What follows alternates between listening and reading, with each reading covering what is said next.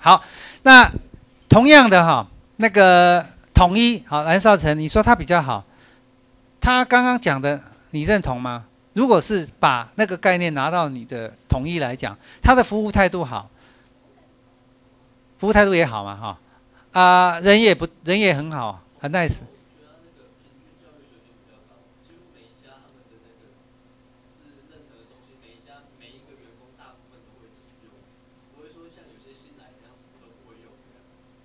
什么意思啊？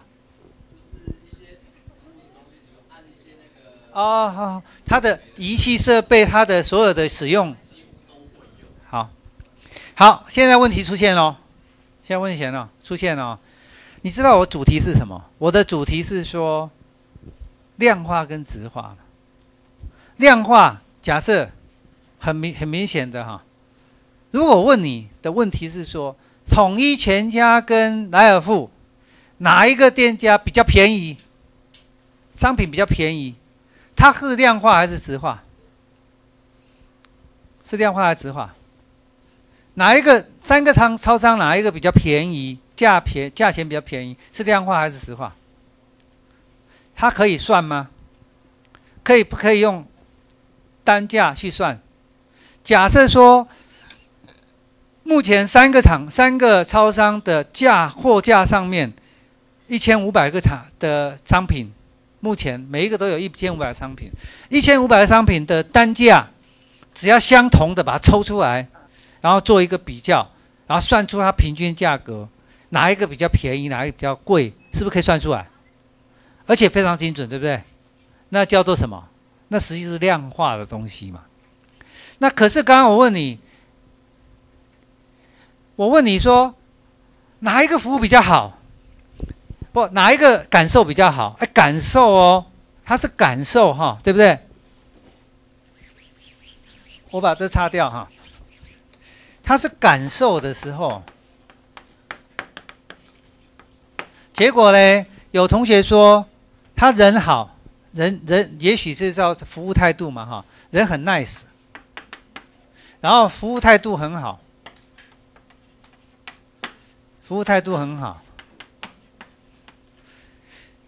可能刚刚有提到，蓝少成提到说，他在仪器设备或者店内的所有的店内的用品哈设施使用很熟悉，使用很熟悉。好，那我问你哦，你的感受跟另外一个同学感受会不会一样？某一个同学说：“金俊杰说，哎，那个看起来他服务好好亲切哦。”结果呢，那个蓝少成说：“哎，我觉得差不多哎，收手。”然后呢，这个这个谁啊？这个子熙子熙说：“呃，我觉得跟你的看法不一样。我觉得他们那个感受是因为。”他穿了制服，而且一进门的时候，我很喜欢听到他这个欢迎光临。啊，那你们各谈各的都不一样，都是感受哦，都是感受。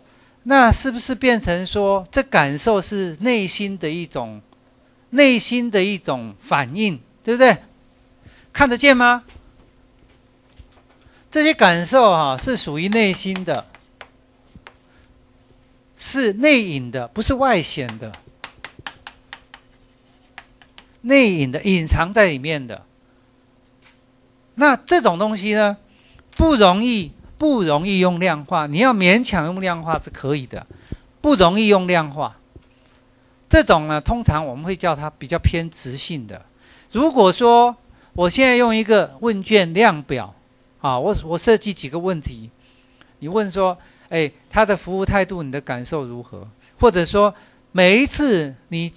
你在购买找零钱、找钱的时候，或者付钱的时候，那个你觉得你会感受很好吗？好，你在付钱的时候，找零的时候，或者说你在拿商品、在询问他的时候，问商品的时候，每一个问题都问出来，加总起来叫做什么？感受啊，是不是这样子？我第一次啊，我大概是三年前吧，三年前哦，三年前我去到新加坡的时候，我完全被被以前的人家给我的印象哈，完全被我打破掉。我还没去新加坡之前，我去四天，我没去之前呢，人家的印象或者报道都说新加坡非常干净，对不对？还有嘞，还有没有人有有没有其他的感？有没有听过？人很很和气，然后呢，这个地方很小，然后呢，每一个人生活的水平很高，啊，尤其是新加坡是这个东南亚呢最干净的城市。我四年前吧，还是三年半以前，我已经来中华了。我有一次去那边做专题报告，啊，去报告的时候呢，我在那边四天，我的感受完全被打破。打破在哪？第一个，所有地铁出来的出口，烟蒂满地都是，满地都是烟蒂，啊，烟屁股一堆。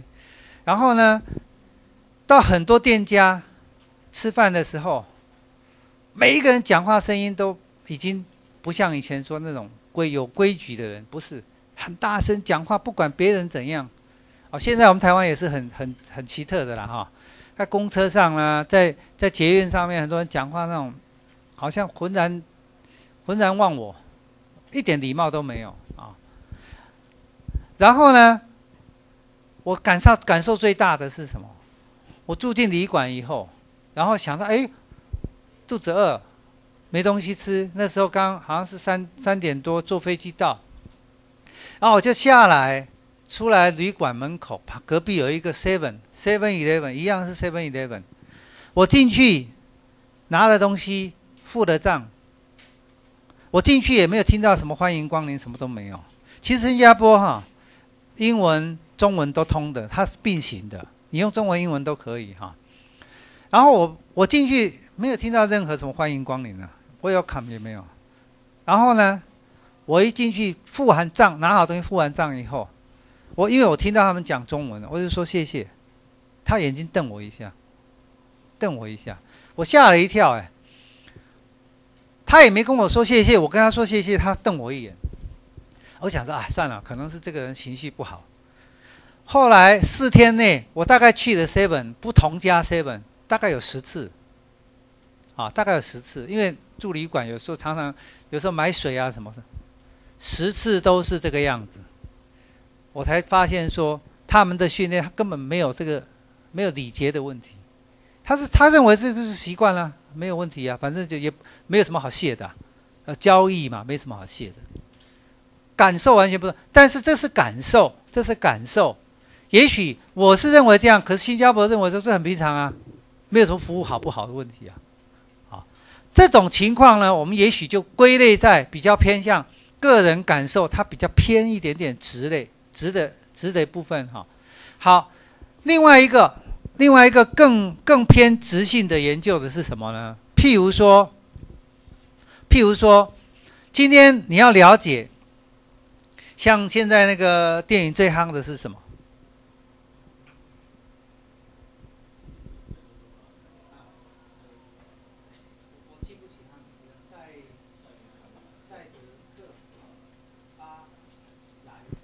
啊，赛德克巴莱，赛德克巴莱，因为这个我反正翻译的对我都是非常大的压力哈。赛德克巴莱哈，这不是最夯的电影吗？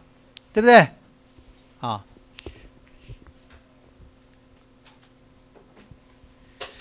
赛德克巴莱是最夯的电影。然后呢，他怎么来的？他的故事怎么来的？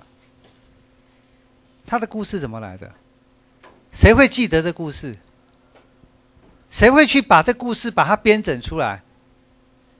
也许你认为说是是那个导演，也许你认为是编剧。好，哪怕是导演，哪怕是编剧，原始的资料从哪里来？有谁回答我？原始资料从哪里来？啊，传记或者记事，或者说还有呢？如果是你，你会怎么想？历史，历史，历史什么来的？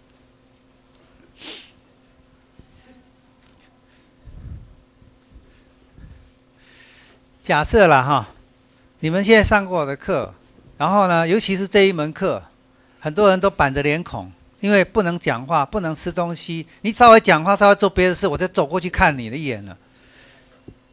五年后、十年后，同学，你们同学会又在讨论，又在讲啊，过去我们在中华的时候上什么课，哪些老师怎样怎样聊天嘛，啊，或者说。另外一班也是我教的，也是这个样子。哎，结果哪一天你们又碰到，也会聊到说啊，以前什么什么。好，我常常讲一句话，我不希望我在上课的这一个，我在面对面你们就学的时间，认为啊，汤老师好好哦，欧趴好好哦，上课不管怎样都没没没关系。可是呢，毕业以后，当你去就业的时候，人家问你问题，你答不出来。然后当你去做其他事的时候，你没有一个。没有一个感受说那个老师给我什么帮助，然后再开始骂。哎呀，那个汤总很混呐，混对混呐。我不希望过去以后被人家骂我混，啊，我希望说哪一天十年以后你在马路碰到我，还会叫我哎汤老师，我以前上过你课。我虽然忘记你了，但是你会这样叫我，心里会觉得很很好。那是我的一个目标啊，我一个理想啊，当老师的职责嘛，啊，好，假设这些过程，这些过程。因为将来有一些某什么事件，然后同学们在聊这，然后聊的时候呢，有一个人可以从头到尾把所有人家聊的事情通通记起来，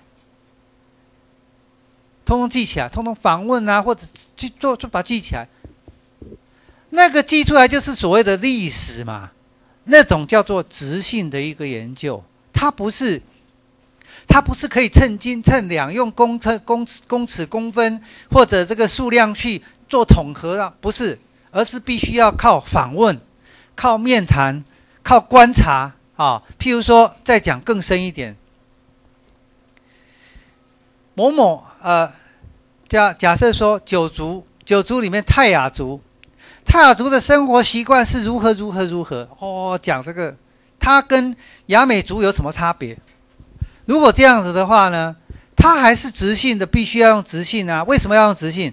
他可能要去泰雅族生活个一年，观察记录他们的生活习惯，他碰到什么事情会怎样？他生气子的样子，大部分生气样子如何？然后到阿美族那边再看看一年，然后做一个比较。他用观察的，因为因为你要问人家这种事情你会生气吗？也许有些人想说我不会，可是呢？他说：“呃，我不会生气啦，好啊，我不会生气啦。你看表情就知道他是生气了吧？讲出来说啊，我不会生气了。他不看你，我不会生气。那是生气还是不生气？不知道哎。你可能要一段时间去了解，真正融入他才知道他是不是生气呀。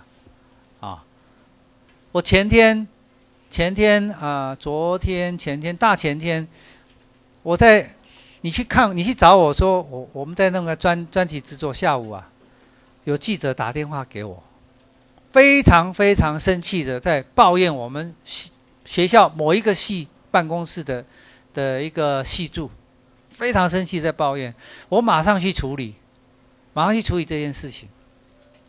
他抱怨他在很生气讲话，我知道他很生气讲话，可是我不知道他的表情是如何。也许他那个生气说：“我对你们很不满，怎样怎样。”也许是什么记者的口头禅。他真正生气吗？也许他不是真正生气，他只要把资料收给我就好了吗？你时间弄给我好，我只是催你的部分，我要催你，我用这种方式跟你讲啊，真正生气吗？记者我怎么知道他是真生气还是假生气？或者说你看到那个政治场合，呃，这个全世界最有名的，而且第一次抛到全世界的。的电视上面就是中华民国的议会里面呢，有一个议员跳到桌子上面去打人，全世界最有名的朱高正，你们有没有听过？不知道吗？大概十五年前吧，全世界最有名，台湾最有名的哦，哎，那个那个部分只是表达这样，而实际上呢，他是真的是为了为了这个法案呢，还是真的是为了说？他这个个性里面认为说，我这个一定要好好的把把这个议案里面的事情凸显，还是说他只是作秀呢？你怎么知道？你可能要透过影片观察，透过过去的一种观察，了解他内心世界到底想的是什么。这种叫做什么？直性。好，所以呢，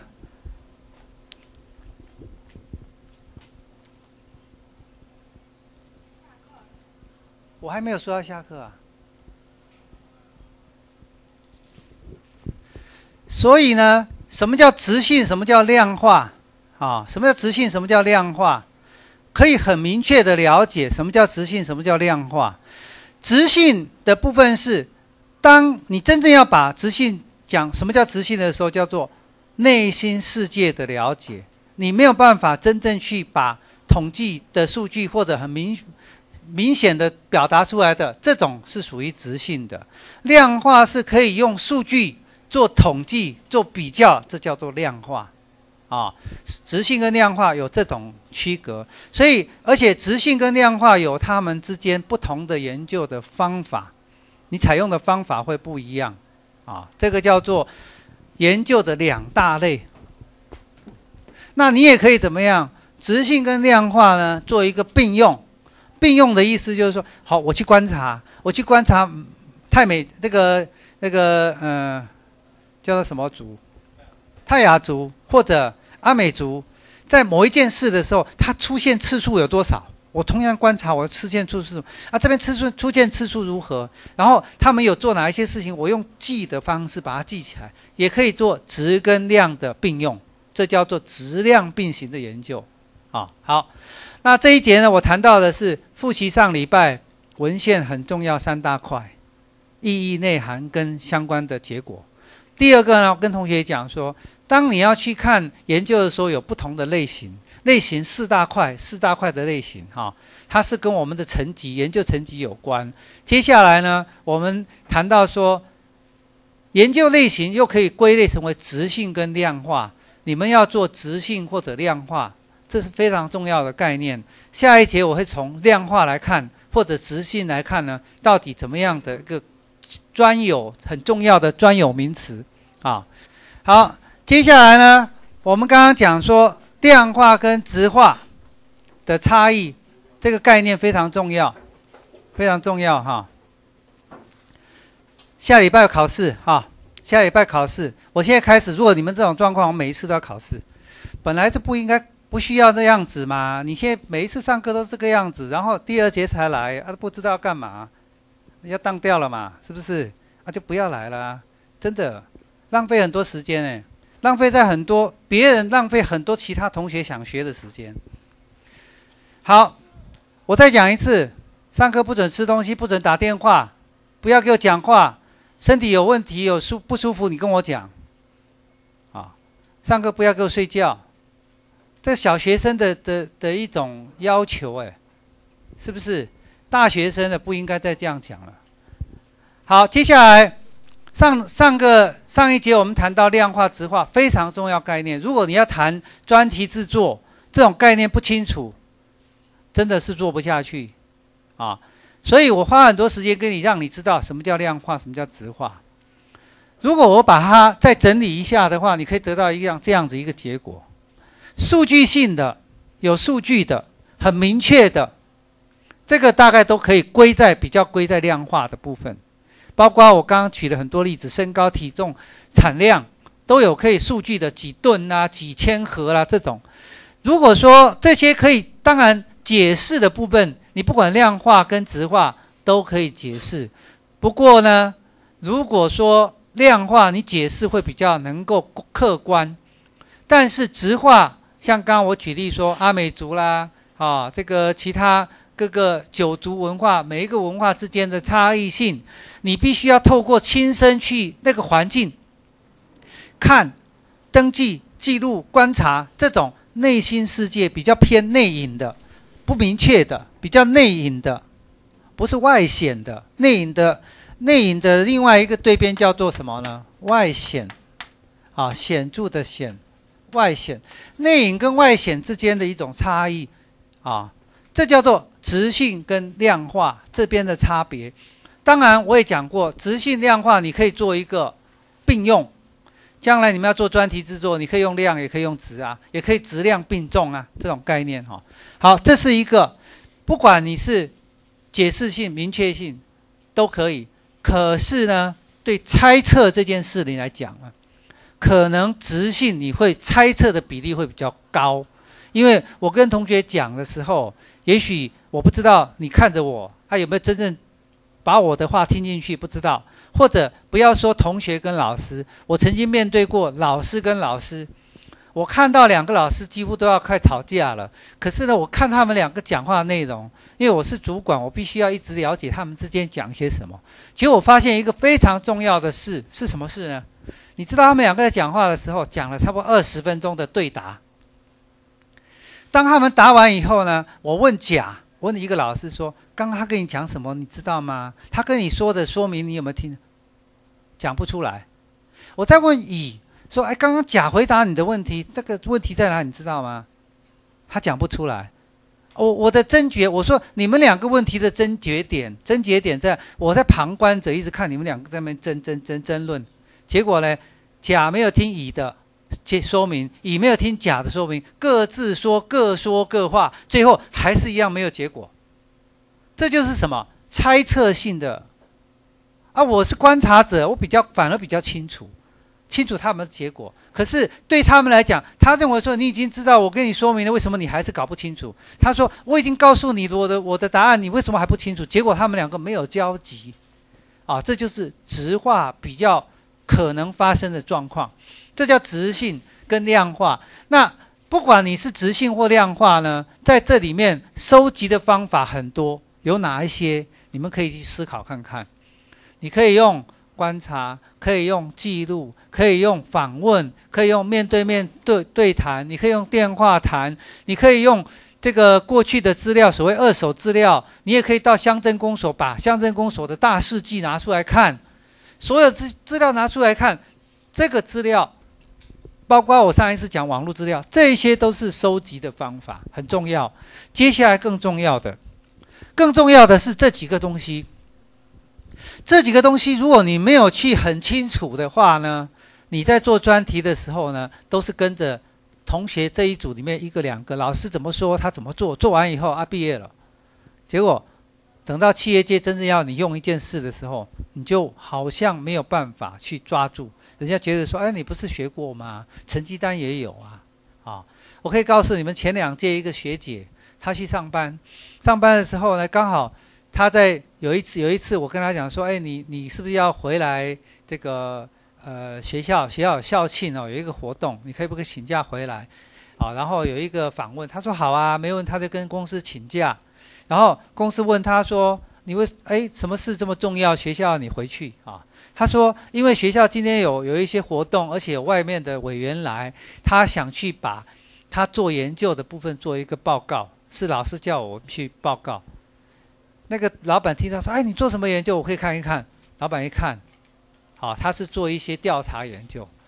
老板说：‘这个也是我要的。’哎，你弄回来以后就开始这个地方帮我处理，他没问题啊。我们的同学真的很，我带过的几组啊。”当然有一两个，曾经还有还有一个是被被当的，被当现在自己在做了，自己已经开始，我叫他重新来了，他一个人要做一份了，已经开始了啊。那大部分的都是真正能够每一个同学都从头到尾都是按部就班把它乱出来，等到业界你进去以后，业界要你做，他还是可以做得出来，这才是成果嘛，而不是跟着跑跟着跑拿到成绩代表什么？没有，而且哦，我可以告诉同学哦，到目前为止哦。除了我的分数比较有差距，有六十几分，有五十分的，有七十几分，有八十几，有九十几的，其他的呢都是一律都是八十五分起跳啊。然后老板看到哦这么好啊，你专题专题制作、专题研究，八十五分表示你能力很好啊，八十五分应该很好了吧，对不对？结果叫你问东不知道，问西不知道，那不是很糗吗？是不是啊？这几个概念有，你的研究走下去会非常顺。这几个概念没有，你走下去，你就会跟着走，这根本不知道，反正就啊，他叫我做什么做什么，最后呢，就是说一动做一动，没有就变成没有意义了，你就不感兴趣啊。好，刚刚里面谈到量化、直化，不管量化、直化这些概念，你都必须要有，看起来很复杂，在你们课本的哪里呢？中英文对照哈，中英文对照的地方呢，有很多名称都在第几页？在第六十五页，很多名称在六十五、六十六页。这里面中英文对照哈，譬如说，我从这里面开始看，最重要的概念，其实啊，自变相、一变相很重要的概念。什么叫自变相？谁知道？举手看看，答看看啦。什么叫自变相？小张不知道嘛？哈，因为还没学嘛。什么叫一变？什么叫自变？你变了，你在变，你在变的时候，另外会跟你相关的东西会改变，那叫一变。譬如说，我变胖了，然后呢，裤子要怎么样？腰围变粗了，我要换一条裤子，买一条裤子。因为我胖了，所以裤子不能穿了。所以，我我本身是自变嘛，我变了它才会变，我不变它就不变了嘛。好，受你改变，或者说。今天因为我的，我现在才十七岁、十六岁，我发育的阶段，我吃的饭要多，吃的饭量要多，所以父母亲会怎么样？花的钱会比较多嘛？因为你吃饭量变大了，你父母亲的消耗变多了，哪一个是自变？哪一个是一变？啊，什么叫自变？变多了，啊，啊。叫做一变嘛，啊，这种概念很重要哦，非常重要。我用非常浅显的来跟你讲，如果你能够抓住要点，你比很多硕硕士生还要厉害很多师傅师还解不解释不出来啊。好，来，刚刚那个红色衣服的啊，你现在这个表示说哦，没问题，我这个表情，我我用直性的概念看，我看他的动作。表示说啊，我很行啊，没问题。你问我吧，我马上导出来了。好了，来，你说，你能不能举一个例子，质变跟一变？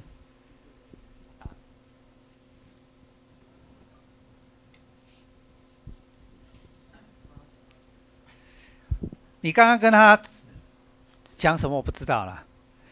你在讲话的时候，你是质变，他旁边变一变，是不是？对吧？因为。你因为他讲话，我不得不要，我我我被动嘛，啊，好，那如果说我不会记了，我开玩笑的说了哈，我看到你的名字，我看你讲话字变相，是因为你讲话他才讲话，所以我不记他，我记你。看谁是变因，一个是果嘛，哈，因跟果之间的关系，我用很浅显的告诉你哦，你很少很少能够。用这么这么生活化去告诉你什么叫做研究的啦？我跟你讲真的啊，这就变成因跟果，自变是因，一变是果。如果英文，英文呢叫做什么？自变叫 independent，独立也叫 independent。好，这个 independent 是英文，那这个呢？dependent 就是易变相，